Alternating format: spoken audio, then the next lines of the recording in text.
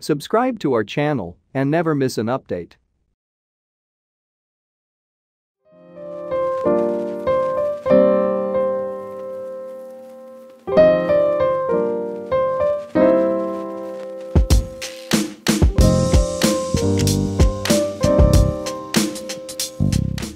એમનો પરિચય દિવ્યેશ વંજાર આપશે દિવ્યેશભાઈ જેઓએ ગુજરાતી સાહિત્ય અને સંગીતમાં રસ ધરાવે છે અને એ બાબતમાં એમણે ઘણું જ રિસર્ચ પણ કરેલું છે. તેઓ કન્ટેન્ટ કો પ્રોડ્યુસર અને આવાસ ડોટ કોમના તરફથી કામ કરી રહ્યા છે. તો આજે પરિચય આપવાને કોઈનો એ જરા અઘરી વસ્તુ છે. અને કારણ કે માણસ પોતાનો પરિચય પણ જલ્દી આપતો નથી, તો બીજાનો તો આપવો કેવો અઘરો પડે? પણ છતાં એ અઘરું કામ આજે દિવ્યેશભાઈને સોંપું છું અને દિવ્યેશભાઈને વિનંતી કે તેઓ હાર્દિકભાઈનો પરિચય આપે. Thank you so much Kokilaben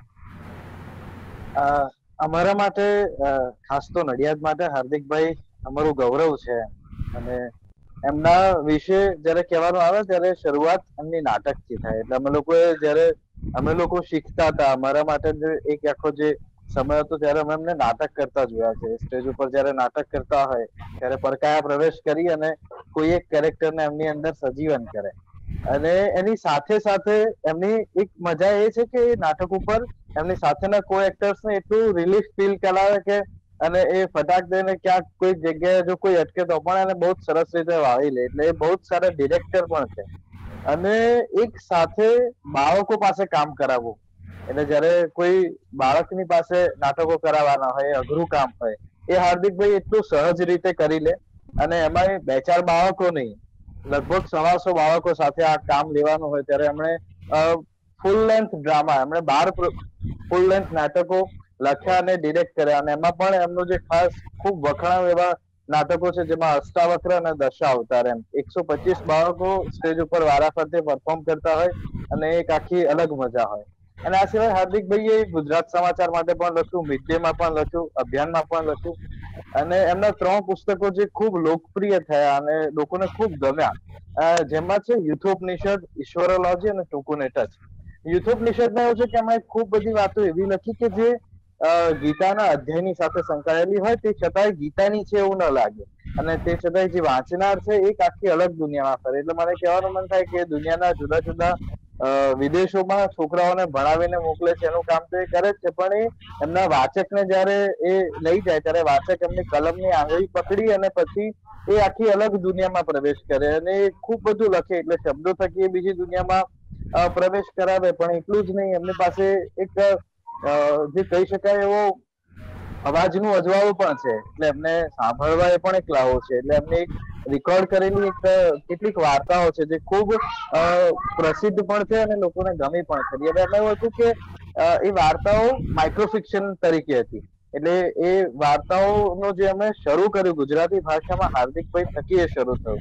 અને માઇક્રોફિક્શન વાર્તાઓ અને અત્યારે ખૂબ બધા લોકો લખતા થયા જેનો પ્રયાસ અને એનું સૌથી પહેલું ખેડાણ એ હાર્દિકભાઈ થકી થયું. અને હાર્દિકભાઈએ એ ટૂંકી વાર્તાઓ તરફ લોકોને વાળ્યા.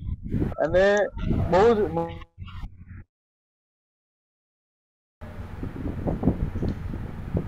નમસ્તે. આજ તો ગુજરાતી સાહિત્યની જ્યારે કોઈ સાચવતું હોય, તો એ ઋષિગણ કે જે લોકો સંસ્કૃતિના વહનની આપણા ભાષાની વહનની અંદર ખૂબ મદદ કરે છે એવા કોકિલાબેન અને.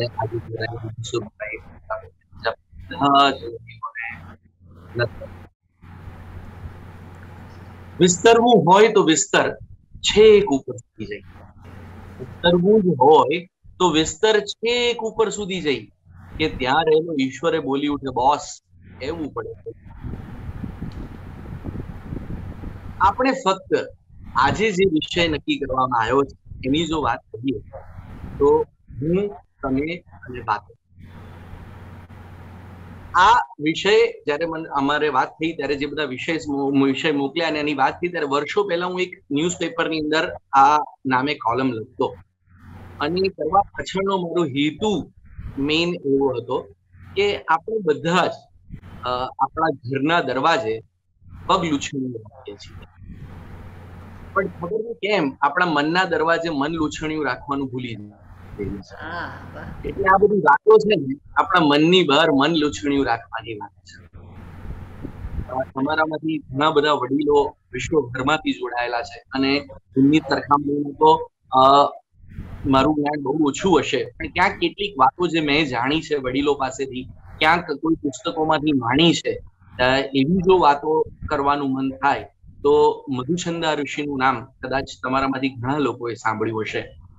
તે એક સમય જ્યારે વેદો લખાતા હતા, એ એ એ કાળનો સમય હશે, કોઈ. તો જ્યારે એવું નક્કી થયું કે માનવ જાતને જે આપણને જન્મ જે રીતે આજે આ સૃષ્ટિનું ઉત્પન્ન થઈ રહી છે, અને સૃષ્ટિમાં જેટલા લોકો છે, એમના તરફ સંસ્કૃતિને કેવી રીતે વાળવી, એમના તરફ જીવન કેવી રીતે જીવવાની વાતો છે, એ શીખવાડવા માટેના મંત્રોથી લઈને એ શીખવાડવા માટેનું સાહિત્ય કોણ રચશે, એના માટે એક બહુ મોટી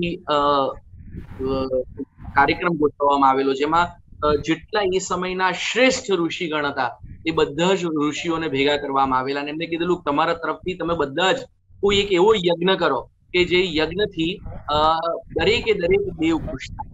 અને જે જે ઋષિના યજ્ઞથી બધા જ ખુશ થઈ હશે એ ઋષિ ને આ એક તક આપવામાં આવશે કે જે એવું સાહિત્યનું સર્જન કરે કે જે સમગ્ર માનવ જાત માટે કલ્યાણકારી હોય. અને ત્યારે બધા જ ઋષિઓ પોતપોતાની આવડત, પોતપોતાના ધર્મ, પોતપોતાની એક એક જેને કહેવાય પાવર મુજબ અનેકવિધ જુદા જુદા યજ્ઞો કરવા માંડ્યા. અને ત્યારે મધુસંદા ઋષિ એ પર્વતોમાં ફરે, જંગલોમાં ફરે, ઝાડ સાથે વાતો કરે નદીઓની સાથે ગીતો ગાય. અને જ્યારે અમે બધા લોકો યજ્ઞ કરતા હતા, ત્યારે બે હાથ ઊંચા કરી અને એ કંઈક મનમાં જે આવે એ ગણગણે અને ત્યારે દેવો તરફથી એને પૂછવામાં આવ્યું કે આટલા બધા જણ યજ્ઞ કરે છે, એટલે એમ પહેલી નજરે એવું લાગ્યું કે આને રસ જ નથી. આને કોઈને જિંદગી શીખવાડવી જ નથી. આને કંઈક આગળ કરવું જ નહીં હોય. ત્યારે બધા જ જ્યારે યજ્ઞ કરવામાં પડ્યા છે, ત્યારે મધુચંદ્રા કેમ યજ્ઞ નથી કરતા? અને ત્યારે એ ઋષિ એવું કહે છે કે હું અત્યારે જે કરી રહ્યો છું ને, એ જ છે? પ્રકૃતિને પામો ત્યારબાદ જ પરમેશ્વરને પમાય છે. એટલે ઘણી વખત કેવી વાતો થાય છે કે આપણે જે માનવ જાત છીએ ને, એ બહુ જ વિચિત્ર વ્યક્તિત્વ અથવા તો વિચિત્ર વ્યક્તિઓનો મેળાવડો છે. આજે મારે એવી એવી વાતો કરવી છે. કારણ કે મને લોકો જેમ હમણાં દિવ્યેશભાઈ મારા વિશે કહ્યું અથવા તો જો જાણે છે તો યુથોપનિષદ કે ઈશ્વરોલોજી કે બધાના લેખક તરીકે કે એક વક્તા તરીકે જાણે છે. પણ મારે કેટલીક એવી વાતો કરવી છે જે મારે મનથી કરાય તો શું થાય? અને એટલા માટે હું તમને વાતોની વાત થઈ છે. આજે કારણ કે ઘણીવાર કેવું છે કે મનની બેઠક એ મજાની વાત હોય છે. કોઈ વિષય કરવા કરતા, કોઈ સ્પેસિફિક વિષયમાં કૂદકો મારવા કરતા. અને એનું મેઇન કારણ એવું છે કે જ્યારે કોઈ સરસ મજાનું તમારામાંથી કોઈ કવિ હોય અને કવિ સંમેલનમાં જાય અથવા તો કોઈ સારો એક પ્રેઝન્ટર હોય ને કોઈ કાર્યક્રમમાં જાય, તો એની શ્રેષ્ઠ કૃતિઓ આપવાનું કામ કરે એક સારો એક કવિ કવિ સંમેલનમાં જાય એટલે દસ પંદર કવિઓ હોય અને એને એવું હોય કે હું આજે એવી કવિતા બોલું કે લોકો વાહ વાહ કરે ને દરેકના મનમાંથી દુબારા એવું નીકળી જાય પણ ખરેખર શું આપણે એવો પ્રશ્ન પૂછ્યો છે કે આપણે એવું તો કઈ સર્જન કરવું છે કે જે આપણે આપણી જાતને કહીએ ત્યારે આપણને મજા. અને જે સાંભળીને આપણા મહિલાને આપણી અંદર બેઠેલા મન થાય કે યાર દુબારા. તો આ દુબારા વાળી જે વાત છે ને, એ આપણે કરવી.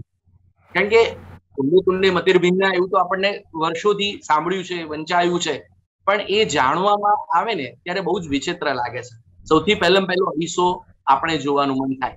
અને એટલા માટે રચનાથી આજે આજે બધી એવી બધી રચનાઓની વાતો કરવી છે મારી, કે જે નોર્મલી આપણે બેઠકમાં કરી શકીએ. કોઈ સ્ટેજ ઉપરથી બોલાવવા માટેની વાત હતી.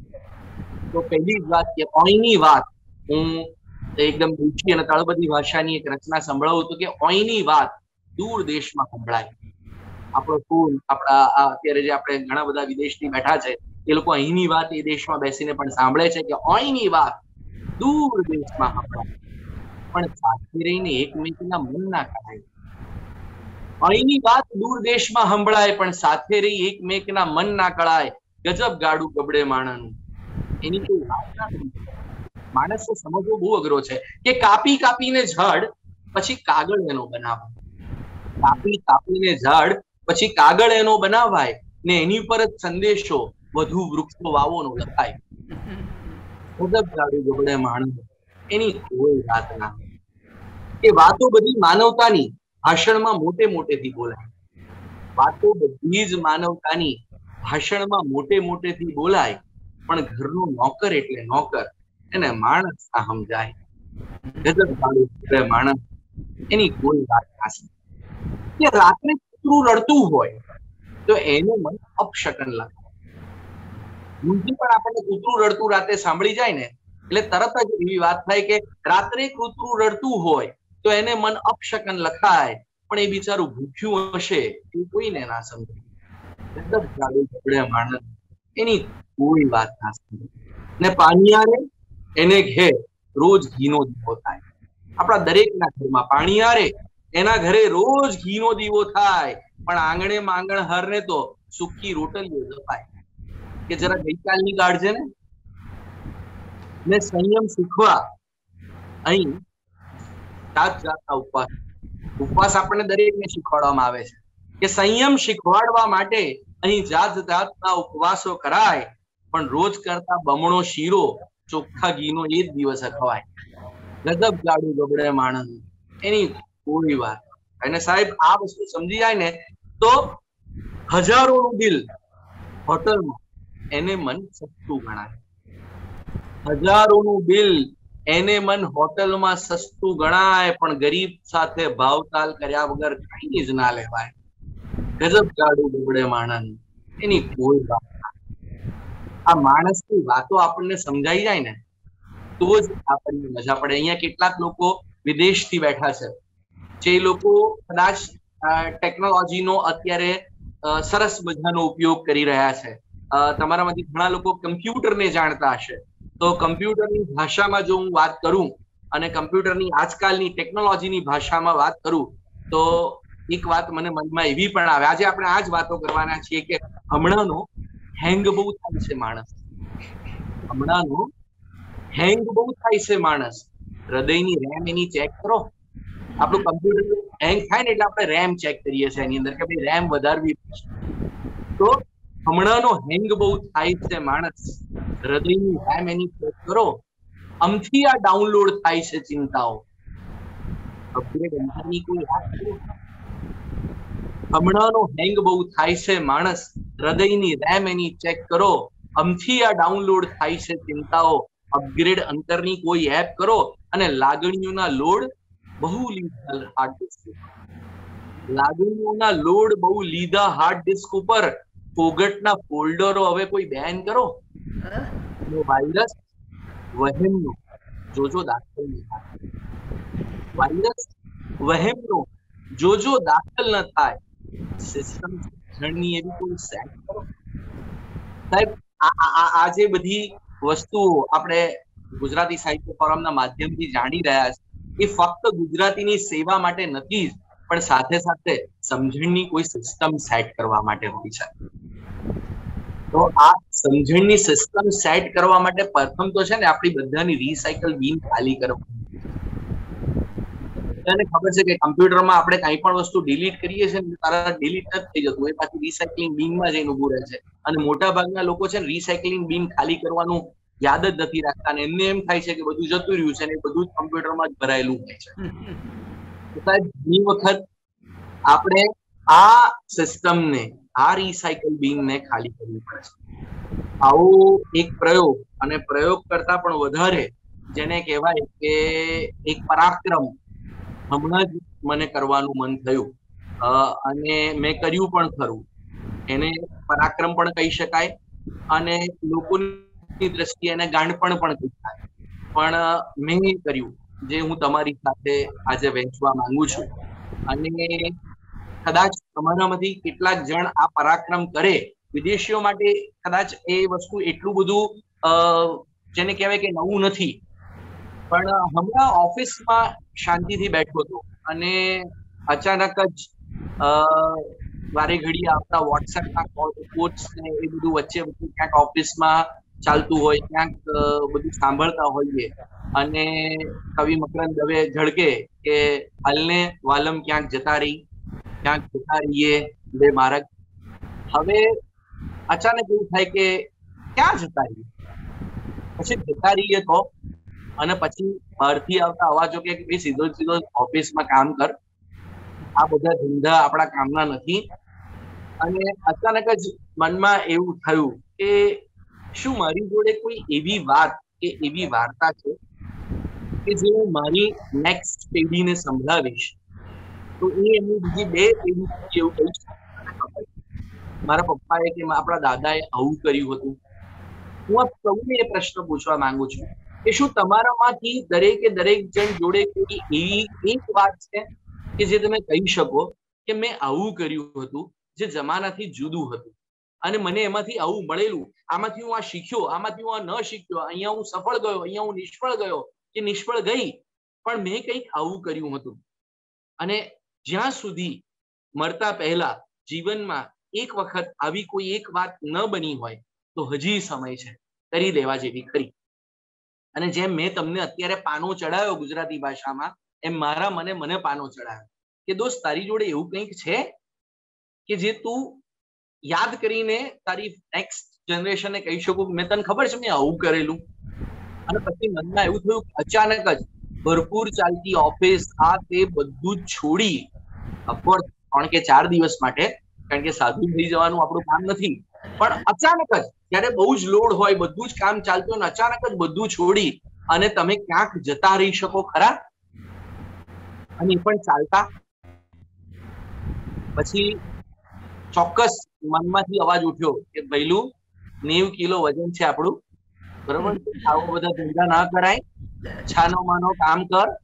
આ મગજના રવાડે ન ચડાય પણ છતાંય મનમાં એવું થયું કે ના ના યાર કશુંક તો કરવું જ છે. અને પત્નીને પહેલમ પહેલું તો અમે મૂળે નાગર, એટલે એવું કહેવામાં જરાય શરમ નહીં કે અમારે પત્નીને બધું જ કહેવું પડે. અને એ અમારા લોહીમાં જ છે. અને આમ તો છે ને અમે સ્વીકારી લઈએ અને બીજા લોકો ન સ્વીકારે. બાકી બધે સરખું જ હોય છે. એટલે પત્નીને એવું કહેવામાં આવ્યું કે આવો કોઈક પ્રયત્ન કરવો છે કે અચાનક બધું જ બંધ કરી અને ક્યાંક કોઈ જંગલમાં કોઈ અજાણી જગ્યાએ જતું રહેવું છે. નિયમ એવો લીધો કે ડોક્ટર હાર્દિક નિકુંજ યાજ્ઞિકના ટેગને અહીંયા જ ઘરે મૂકી અને કાંઈ કરતા કાંઈ જ સાથે લીધા વગર કોઈ જ પ્લાનિંગ વગર કોઈ અજાણ્યા રસ્તે જતું રહેવું છે, કોઈને ઓળખાણ નથી આપવી કોઈની પાસે કશું માંગવું નથી, જે મળે થઈ લેવું છે, જે મળે ત્યાં રહી લેવું છે.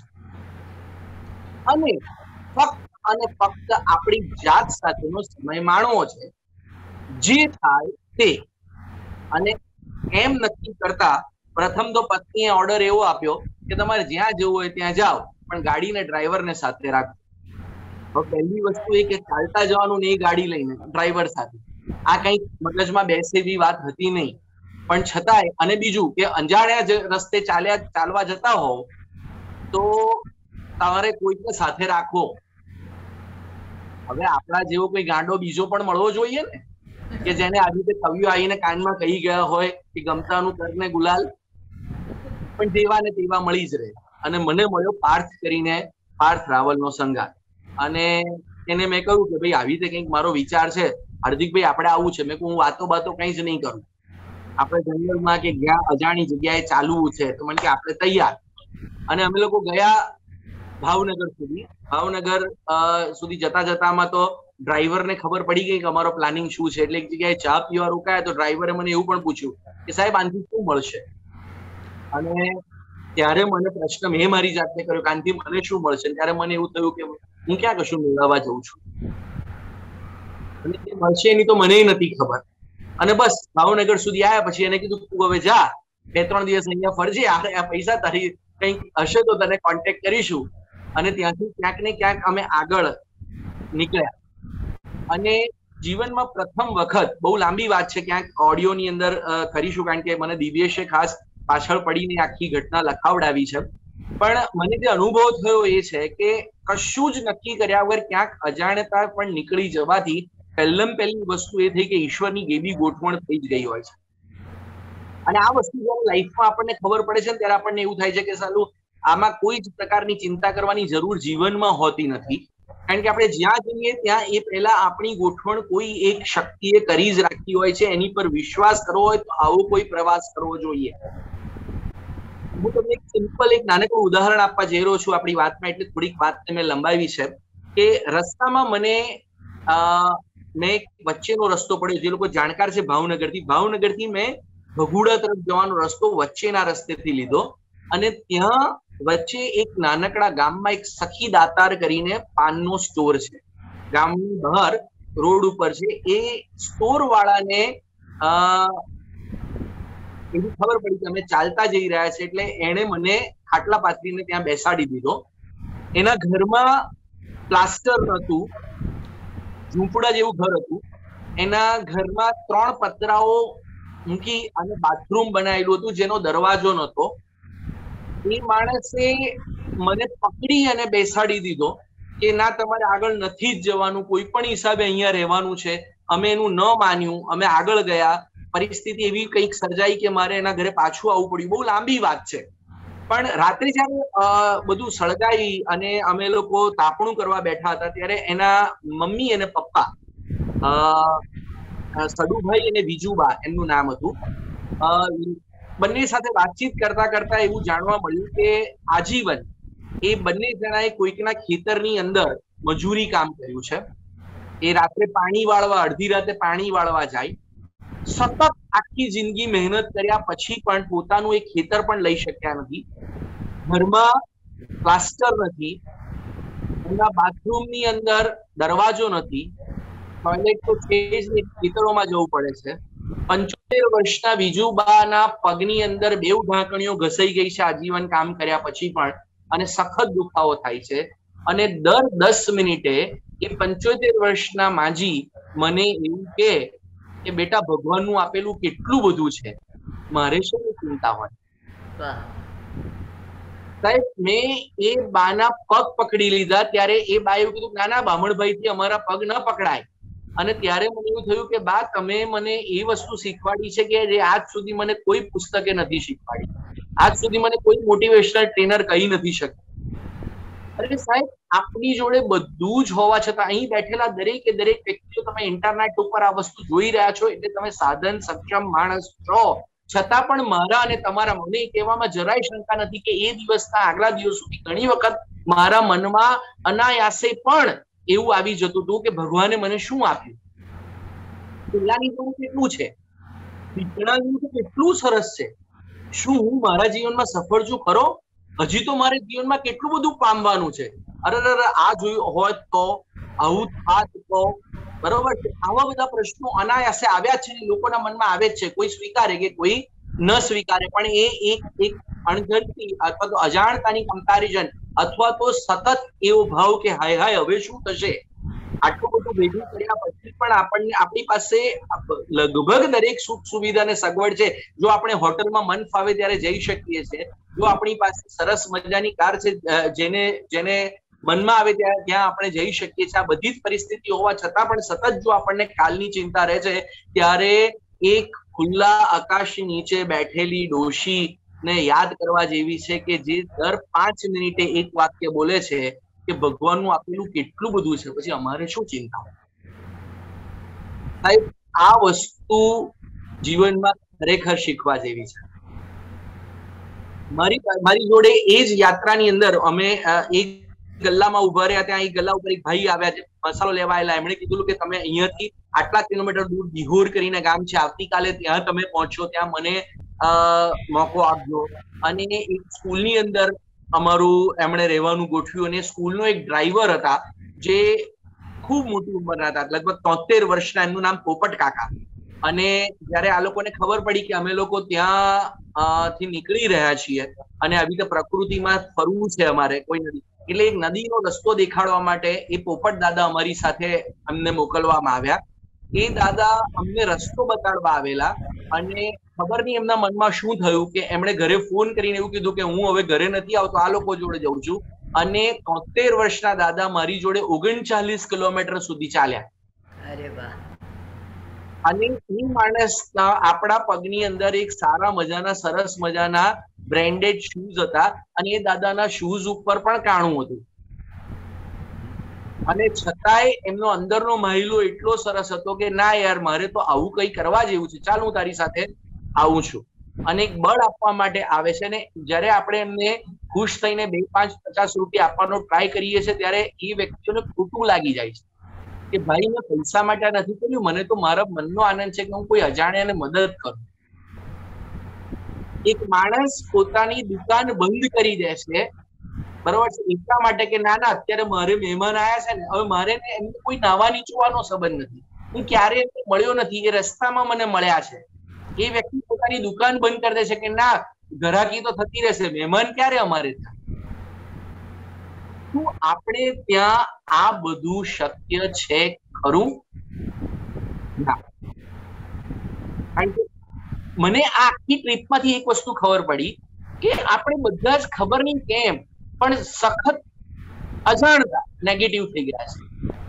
હું અત્યાર સુધી મારી દીકરીઓને એવું કહેતો બેટા સાચવજે. ઓફકોર્સ અત્યારની દુનિયા એવી થઈ ગઈ છે કે આપણે સાચવવું પડે એવું કહીએ છીએ. બેટા, બધા માણસો આમ હોય છે તેમ હોય છે ને દુનિયામાં અને ફિલ્મો અને ન્યૂઝ ને આ બધા આપણા મનમાં એટલું થયું છે, દરેક માણસને આપણે શંકાની નજરે જોતા થઈ રહ્યા છે. પણ હજી પણ આ દુનિયામાં એવા લોકો છે જે મેં પ્રત્યક્ષ જોયા છે, કે જેને સામેવાળા જોડે કોઈ લેવા દેવા નથી, જેને કશું જ જોઈતું નથી. ફક્ત કોક અજાણ્યાની સેવા કરવાનો. બરોબર છે? આંગણે આવેલાને એક આનંદ કરાવવાનો. એનો હેતુ રહેલો છે. પછી છ ને એના કિસ્સામાં કશું નથી. સાહેબ, બે હાથે સલામ કરીને કોઈ પૂછવું પડે એવા પોઝિટિવ વ્યક્તિઓ આ જીવનમાં મળે છે આપણને. તો ક્યારેક આ રીતે નીકળી જવાની જે મજા હોય છે ને સાહેબ, એ કરવાથી છે ને આપણને અદ્ભુત લોકો મળે છે કે જે ઈશ્વરના સંદેશાવાહક છે. જે એવું કહે છે કે હું હજી પણ બેઠો છું. હું માણસની અંદરથી હજી પણ નીકળ્યો નથી. પણ આપણે બધા કેવા છીએ? તો કે અમે સેલ્ફી લઈને જીવતા લોકો. અમે સેલ્ફી આપણે બધા સેલ્ફી લઈને જીવતા લોકો છે. આપણી જોડે સાહેબ કોઈ ફોટો પાડનાર નથી. કે અમે સેલ્ફી લઈને જીવતા લોકો ને અમે ટોળામાં હોય સારું લોકો. અમે સેલ્ફી લઈને જીવતા લોકો અને અમે ટોળામાં હોય સાવ એકલા લોકો. ગર્લફ્રેન્ડ ને આઈ લવ યુ રોજ સવાર બપોર અને સાંજ ગર્લફ્રેન્ડ આઈ લવ યુ રોજ સવાર, બપોર અને સાંજ ને એ જ વાત મા બાપ ને કહેતા અરે યાર, જે આઈ લવ યુ તું, તારા અહીંયા જો કોઈ યંગસ્ટર સાંભળે છે તો મને બે હાથ જોડીને પ્રયત્ન કરજો કે તારી ગર્લફ્રેન્ડ ને કે તારી પત્ની ને તું આઈ લવ યુ કહે છે ને, તારા ઘરમાં બેઠેલા મમ્મી પપ્પા ને એકવાર પ્રેમથી વગર કારણે ભેટી જોજે એને આઈ લવ યુ કહી જોજે એ જે મજા છે ને સાહેબ, એના જેવી મજા કશું જ નથી. તમે મા બાપને કાંઈ જ નહીં તમારી ચામડીના ચંપલ બનાવશો તોય આપણે મા બાપને કશું જ નહીં આપી સિવાય કે સરસ મજાની હૂંફ એક સરસ મજાનું હાસ્ય એમના ચહેરા ઉપર આવી જાય ને એનાથી બીજું કાંઈ જ કે અમે સેલ્ફી લઈને જીવતા લોકો અને અમે ટોળામાં કોઈ સાવ એકલા લોકો વાતો બધી માનવતાની મોટેથી કરતા લોકો. વાતો બધી માનવતાની મોટેથી કરતા લોકો, પણ ઘરના નોકરને માણસ ન સમજતા લોકો. ને આખું વર્ષ કોલેજમાં જલસા કરતા લોકો. ને આખું વર્ષ કોલેજમાં જલસા કરતા લોકો અને પરીક્ષા ટાણે આઈએમપી માટે ટળવળતા લોકો. અને વાતો દેશ પ્રેમની બધાને સંભાવતા હમણાં હું કહું તમને બધાને કે બોલો, ભારત માત એ અને તમે બધા જ કહેશો થાય કે વાતો દેશ પ્રેમની બધાને સંભાવતા લોકો, પણ વિઝા માટે વિદેશના તરફડતા લોકો. અમે સેલ્ફી લઈને જીવતા લોકો. વિદેશ જવું અગત્યનું અહીં બેસીને આપણા દેશને વખોડવું છું. મને ખબર છે કે ત્યાં જેટલી ભારતીયતા જીવે છે, એટલી કદાચ અહીંયા ઘણી ઓછી છે.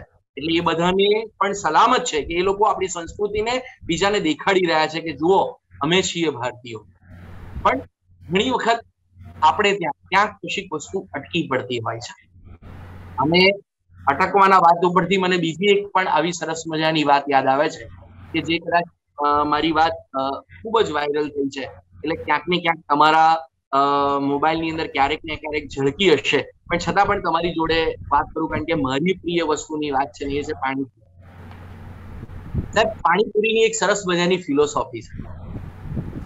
કેટલાય મોટા સંતો ને મહંતો ન શીખવાડી શકે કે મોટિવેશનલ ટ્રેનરો ના શીખવાડી શકે ને એવી અગત્યની વાત એક નાનકડી પાણીપુરી આપણને શીખવાડે. તમે પાણીપુરી ખાતા હોવ ત્યારે હાથ વડે મોં સુધી પાણી મોંની પૂરી અચાનક જ છટકી જાય છે અને નીચે પડી જાય. હવે એ પૂરી છટકી જવાથી તમે કઈ પાણીપુરી ખાવાનું છોડી નથી દેતા? હજી તમે પેલી પડેલી પૂરી સામે જુઓ, ત્યાં તો પેલો ભૈયાજી બીજી એનાથી પણ વધારે સરસ મોટી પૂરી આપીને તમને કહે છે કે રહેને દો ભૈયા, એ લો દૂસરી. સાહેબ, જીવનમાં તમારું બનતું કામ અટકી પડતું હોય. ક્યાંક છેક મોડા પાસે આવેલી તક આવીને જતી રહી હોય. ક્યાંક કશીક વસ્તુ ન થઈ રહી હોય, તો ડિપ્રેસ થવાની જગ્યાએ આ પાણીપુરીની થિયરી યાદ રાખવા જેવી છે.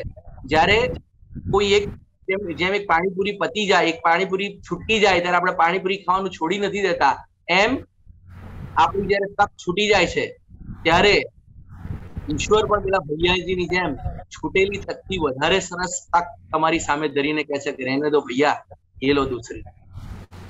એટલે ક્યારેય જીવનની અંદર ક્યાંય ક્યાંય ક્યાંય એ વસ્તુ કરવાની જરૂર નથી. એટલી રેફરીની વિસલ વાળી વાત યાદ છે ને? કે એક જગ્યાએ એક માણસ એક સરસ મજાની કોમ્પિટિશન એક ફૂટબોલ મેચમાં ગયો હોય છે. અને ત્યાં બધી જર્સી પહેરેલા લોકો પોતપોતાની ટીમને બકઅપ કરી રહ્યા હોય છે. અને ત્યારે એક નાનકડો છોકરો એક જે હરી રહેલી ટીમ છે થ્રી ઝીરો નો સ્કોર છે ઝીરો વાળી જે ટીમ છે, એની ટી શર્ટ પહેરેલી છે પોતાની ટીમને બકઅપ કરી રહ્યો છે બાજુમાં બેઠેલો યાર તારી ટીમ તો હારી રહી છે. બરોબર છે? શા માટે તું આ વસ્તુ કરી રહ્યો છું. શા માટે અત્યારે તું આનંદ કરી રહ્યો છું તું એને એન્જોય કરી રહ્યો છું? ત્યારે નાનકડો છોકરો કહે છે કે, વાત સાચી કે મારી ટીમ હારી રહી છે? પણ હજી રેફરીની છેલ્લી વિસલ ક્યાં વાગી છે? રેફરીની છેલ્લી વિસલ ના વાગે ત્યાં સુધી કઈ પણ બદલાઈ શકે છે. અને પેલો માણસ જુએ છે અને વાત સાચી છે કે સમય સમયનું કામ કરે છે. અને જ્યારે ફાઇનલ મેચ પતે છે, ત્યારે પેલી હારતી ટીમ ફાઈવ થ્રી થી જીતી જાય છે.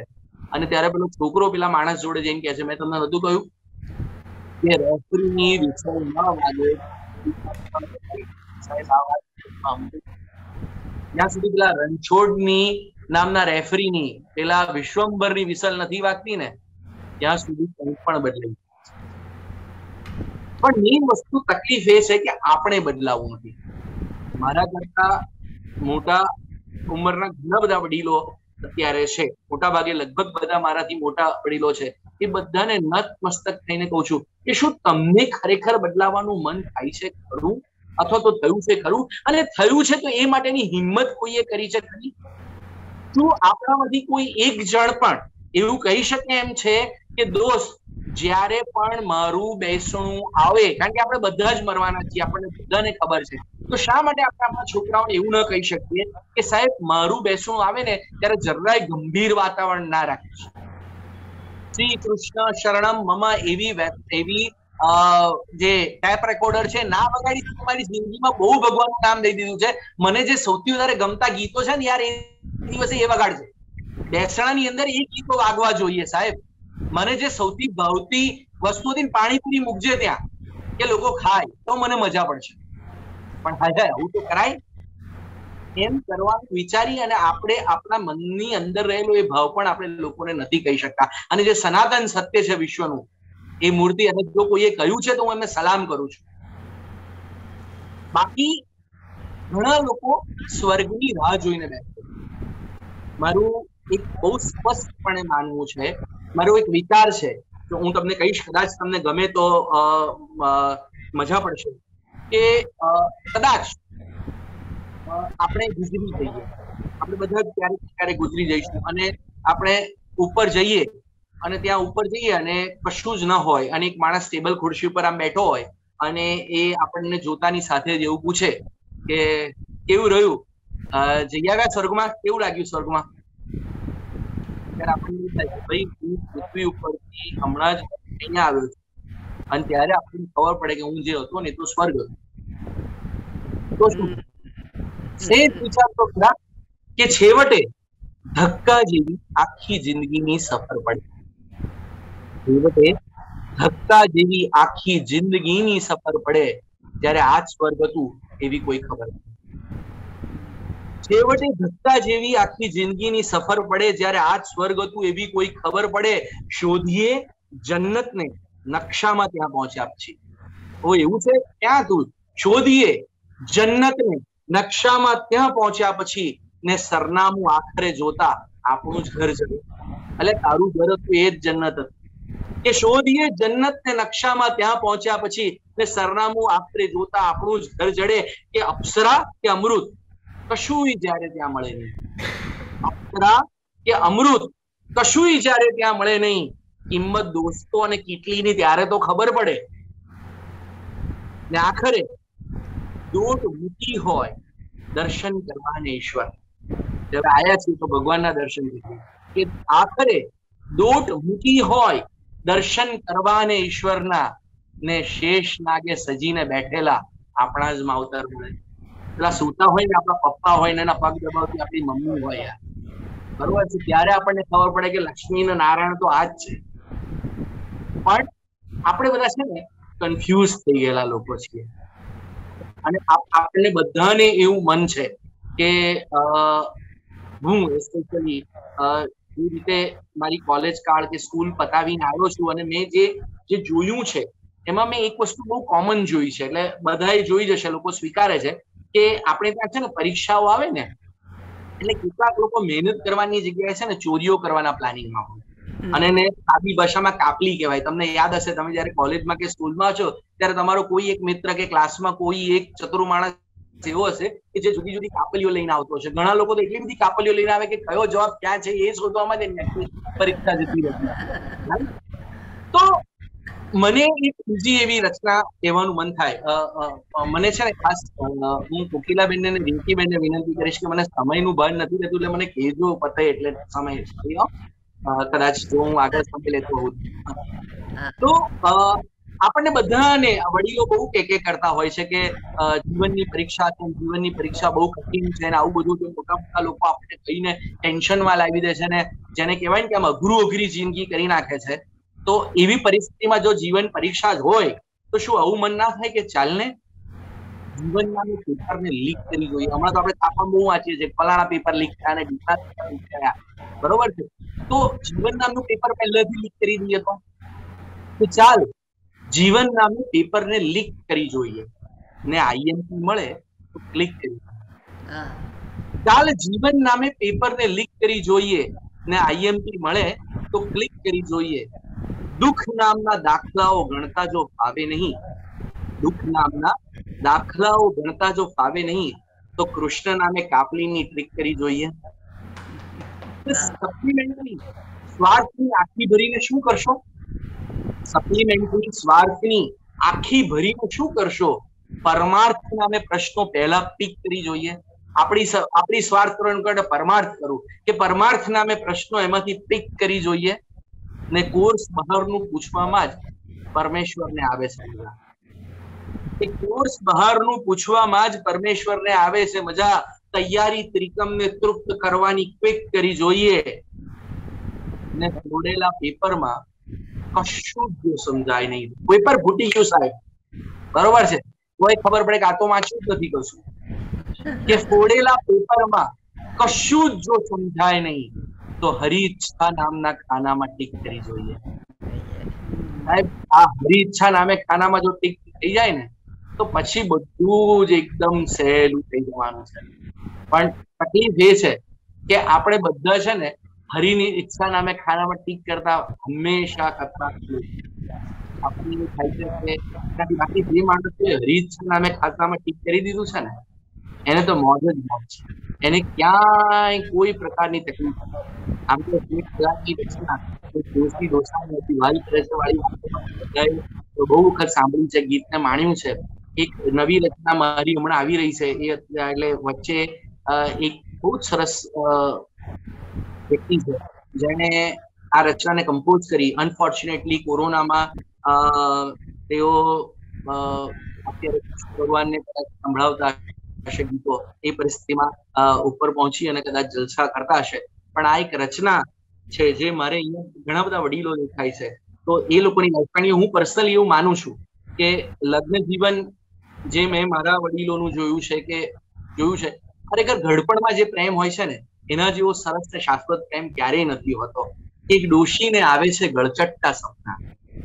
એક ડોશીને આવે છે ગળચટ્ટા સપના અને ડોસાને ઘરકની હેલી હું હજી થયો નથી ગરડો પણ મેં જે જોયું છે, એમાંથી આ બનાવ્યું છે કે ડોસીને આવે છે ગળચટ્ટા સપના ને ડોસાને હરકતી ગેલી વહાલની વાતોમાં બેઉ ભરચક જીવે છે. બધી ચિંતા બાજુએ મેલી. એટલી બાજુમાં મેલીને જીવવાનું નામ જ જિંદગી છે. કે ડોશીને આવે છે ગળચટતા સપના ને ડોસાને હરખની હેલી. વહાલની વાતોમાં બેઉ ભરચક જીવે છે. બધી ચિંતાઓ બાજુમાં મેલી. એક મેકમાં બંને રહેતા બિંદાસ. એક મિનિટમાં બંને રહેતા બિંદાસ આ દુનિયાની લપ બધી મેલી. ને કોઈ પૂછે તો પાછા વટતી બતાવતા, સરનામું પ્રીતની ડેલી ને દવાઓ ભૂલાય, પણ ભૂલે કોઈ દી ના. વાત પછી પેલી, કે દવાઓ ભૂલાય તો ભૂલે કોઈ દી, પણ ભૂલે ના. વાત પછી પેલી, કે વાલના વેપારમાં ખર્ચવાને રાખતા ધોખા ચંદનની થેલી ને આગવો જો સાથ તો ઘડપણની વાટ પણ થઈ જાય કેવી સહેલી?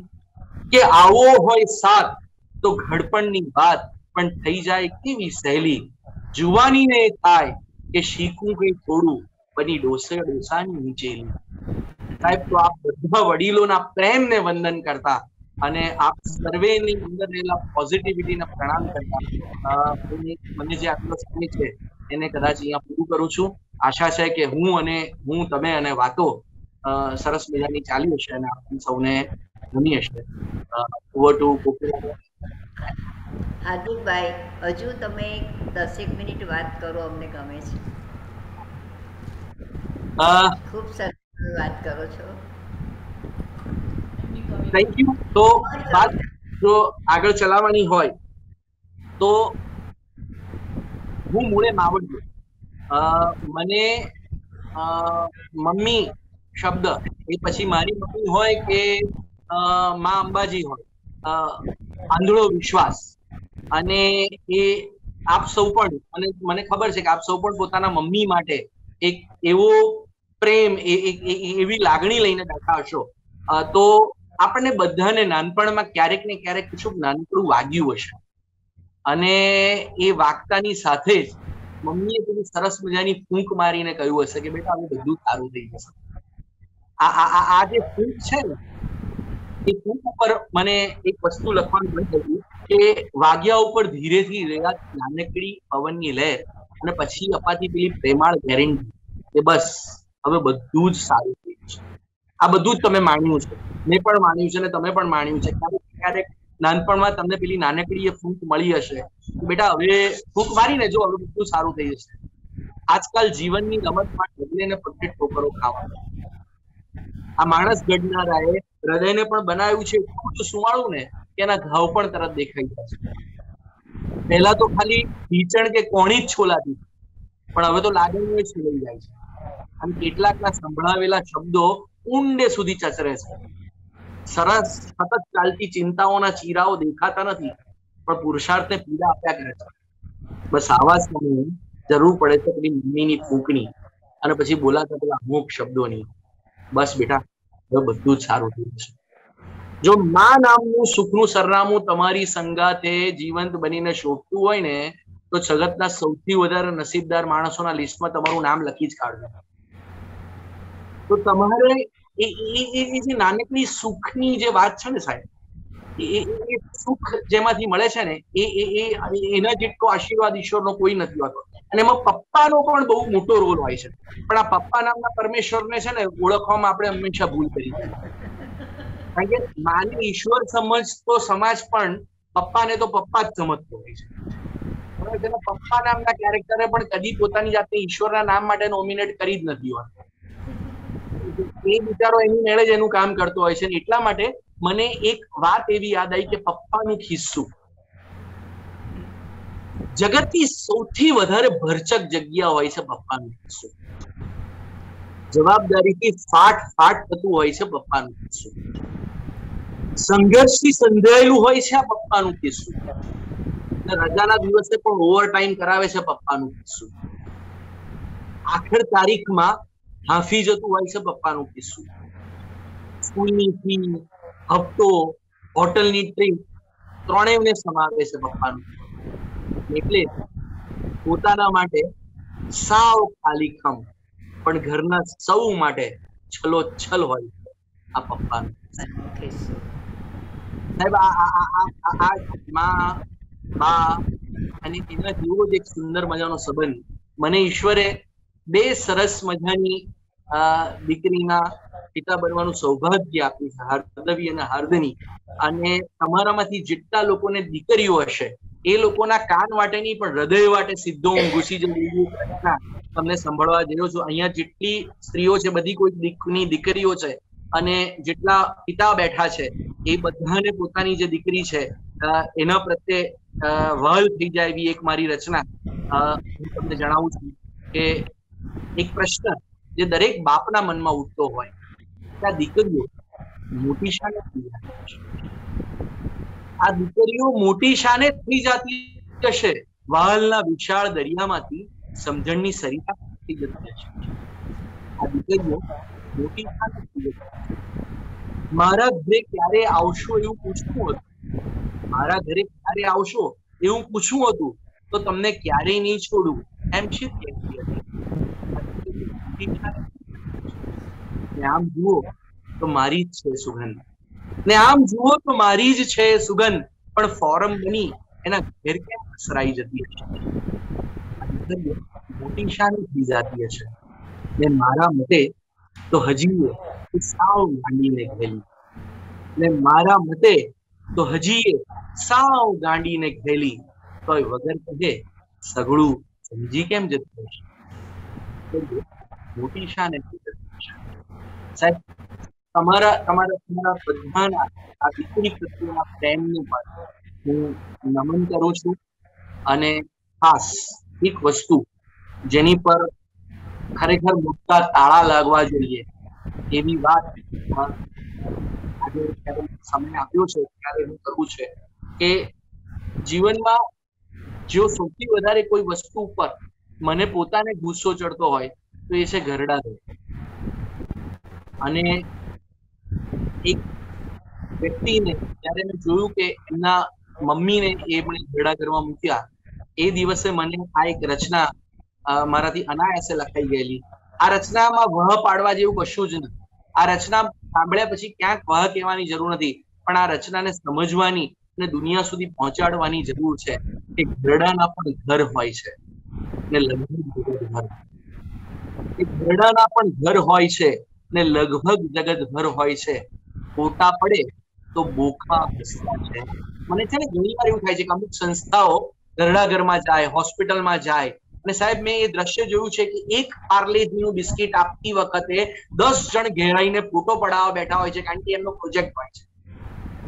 સાહેબ, ફોટા પડે ને તો બોખા હસતા ચહેરા ને દિલમાં એક કાપો ચર હોય છે. ઘરડાના પણ ઘર હોય છે. લગભગ જગત ઘર હોય છે. એ જીવ્યા હોય જિંદગી આખી નામ આખી સાથે. જીવ્યા હોય જિંદગી આખી નામે સાથે ને આજે જીવ્યા હોય આખી જિંદગી નામ સાથે. પોતાનું એક નામ હોય, પોતાની એક ઓળખ હોય. જીવ્યા હોય જિંદગી આખી એક નામ સાથે ને આજે ઓળખ આટલા નંબર દસ હોય છે. રડાના ઘર હોય છે. લગભગ ઘર હોય છે. ને રોજ ભીના થતા તકિયા સિવાય કોને ખબર? કે રોજ ભીના થતા તકિયા સિવાય કોને ખબર કે રોજ રાતે ખુલ્લા કોના નળ હોય છે? ઘરડાના પણ ઘર હોય છે. મહિને પાંચ મિનિટ મળવા આવે દીકરો. મહિને પાંચ મિનિટ મળવા આવે દીકરો. બિચારાને સમયની કેટલી બધી પળોજળ હોય છે. ને તને એક દીકરાએ? મને ત્રણ ત્રણ છોડી. તને એક જ દીકરાએ? મને ત્રણ ત્રણે છોડી. કોમ્પિટિશન પણ ત્યાં કર્મોની કેટલી અફળ હોય છે? કહો તો દાન આપી દઈએ બોસ આપણે. કહો તો દાન આપી દઈએ બોસ આપણે. બિચારાઓ પ્રત્યે આપણી પણ કઈ ફરજ હોય છે? આપણું એવું જ વિચારીએ છીએ. એ પૈસાનું પાણી પાનખરને શું બચાવશે? એ પૈસાનું પાણી પાનખરને શું બચાવશે? તરસ તો એમને વાલના વરસાદની હોય છે. સાહેબ, કોઈ ઘરડા ઘરમાં દાન કરવાનું મન થાય, અમેરિકાથી ડોલર્સ મોકલો, યા ફિર અહીંયા આવો તો ક્યાંક તમારા પપ્પા, મમ્મી કે કોકના નામની તકતી ચોંટાડો ને, સાહેબ, એ સરસ જ કામ છે અને કરવા જેવું છે, પણ એની સાથે સાથે જો તમે ક્યાંક પણ સમય મળે છે, તો આવા કોઈ ઘરડા વ્યક્તિ સાથે બેસી અને એની જોડે મન ભરીને વાતો કરો ને, સાહેબ, તો એને પેલા લાખ રૂપિયા કરતા વધારે મજા તો તમારા સમયનું એ જો દાન થઈ જાય અને તમારે, તમે જ્યાં પણ રહેતા હોય સાહેબ અને ત્યાં કોઈ કોઈ કોઈક એક અજાણ્યા ઉંમર લાયક વ્યક્તિને હંસનું સરનામું જો આપણે બની શકીએ, તો ખરેખર ઈશ્વરે આપણને આપેલો જન્મ સફળ થશે તો આપ સર્વે પણ આવા કોઈ હંસના સરનામા બનો એવી આપને અનુરોધ છે. ખૂબ સરસ હાર્દિકભાઈ. તમે અમારા બધા શ્રોતાઓના હૃદય સુધી પહોંચી ગયા છો. તમે જો ચેટબોક્સમાં જોશો, તો તમને જણાશે. ખૂબ સરસ વાતો કરી. અને આજે અમને એવું થયું કે વક્તા ભાષણ આપવા નથી બેઠા, પણ ખરેખર અમારી જોડે વાતો કરો છો, એવો અમને ભાસ થયો છે. એટલે તમને એ માટે હું પહેલેથી અભિનંદન આપી દઉં છું. ખૂબ સરસ રીતે તમે વાતો કરી. અને જીવનની સાચી અને કડવી વાત, બંને તમે બહુ સરળ રીતે કરી કે જે અમારા બધાના હૃદય સુધી પહોંચી શકે છે.